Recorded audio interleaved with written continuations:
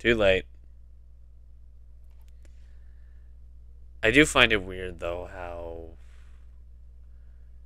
I look really strange in the dark.